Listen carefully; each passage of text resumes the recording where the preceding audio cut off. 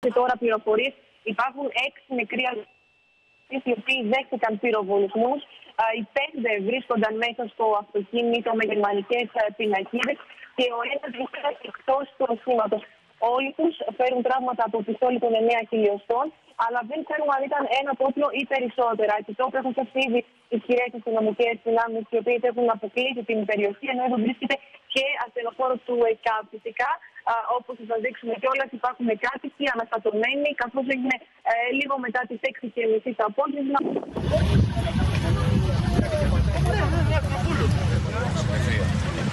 Ευθεία. Ναι. Τι ακούσατε; Ε, ρηπές, διακεκομένες, ε, ξανά ρηπές, ξανά διακεκομένες